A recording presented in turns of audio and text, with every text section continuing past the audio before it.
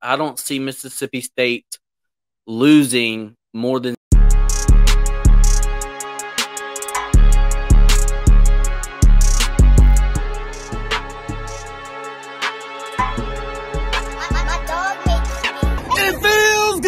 What's up, guys? It's your boy Mayhem Matthew with the Eat'Em Dawgs YouTube channel. Today, we are going to be previewing the 2023 Mississippi State football schedule. Uh, they have a brand new head coach in Zach Arnett. Rest in peace uh, to uh, Mike Leach.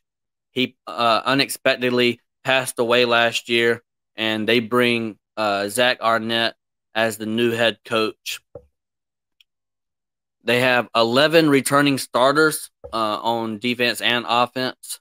So that's about half the team right there. So they bring back a lot. They have a brand new offensive coordinator in Kevin Barbay. He was uh, the offensive coordinator at Appalachian State, where he put up uh, 359 passes and 474 rushes. That is way different than what Mississippi State put up in their 634 passes and 295 rushes. So Kevin Barbay is trying to move away from the air raid system. Um, he's probably going to do a lot more uh, of a rushing attack uh, there. And also, uh, he brings in tight ends from the transfer portal. You know, in the air raid, uh, you don't really use tight ends, but uh, he brings in Ryland Good and uh, Jacorius Spivey at tight end uh, from Georgia and from TCU there. And then um, he got some guys leaving on the offense, uh, players leaving. Ra Thomas, Caleb Ducking, and Austin Williams. Uh, them are all wide receivers that are leaving that offense.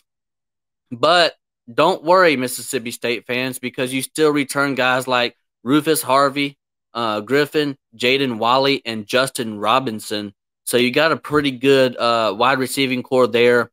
I wouldn't say elite, but I would say they're pretty good. Um, as far as the offensive line, you bring in a, a new uh, offensive line coach, Will Friend.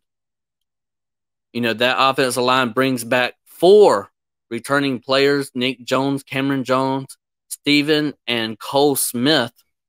So collectively, I think um, you know also they bring back their quarterback in Will Rogers. You know, Will Rogers is a great quarterback for the Mississippi State football team. Um, you know, bring back four returning players on your offensive line. Uh, you know, return guys on like we just said on the wide receiving corps. Yes, you do lose guys on the wide receiving corps, but and then you also have the tight end set that we talked about. Uh, that you know this new offense coordinator is going to instill in the Mississippi State offense.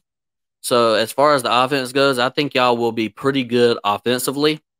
Uh, as far as the defense, uh, listen, guys, the defense loses quite a bunch. Um, you lose Emmanuel Forbes and all three safety spots. So, and then the only only guy in the backfield that you return is uh, cornerback Decamerion Richardson. So uh, that secondary is going to be bad, uh, and that's a problem for Mississippi State. Anybody can probably pass on uh, Mississippi State this year, but they do bring four defensive backs from the transfer portal so we'll see how that goes uh, this spring and into the fall. Let's take a look at the uh, 2023 schedule for the Mississippi State uh, football team. They start out at home, Southeastern LA Lions, and then they face the uh, Arizona Wildcats, and then they also face LSU Tigers at home. Um, then their very first road game is at South Carolina uh, at Williams-Brice Stadium. They go back home to face Alabama, and then they face um, Western Michigan Broncos at home, and then they have their off week. Let's talk about this for a second. You know, their their schedule sets up pretty easily for them if you're talking about, you know, home field advantage. The only away game that you have is the South Carolina Gamecocks. I know you got tough competition in LSU and Alabama. So if you can get out of there with only two losses, then uh, Mississippi State fans, y'all should be really happy with that. For the second half of their season, uh, they come off a bye week and play at Arkansas and at Auburn. That's back to back road games. Um, Kentucky, they play at home. Then they go away at Texas A&M in Kyle Field. Then they play at home Southern Miss, and then they play uh, to end the season Ole Miss, the Egg Bowl at Davis Wade Stadium at home. So their schedule sets up pretty nicely.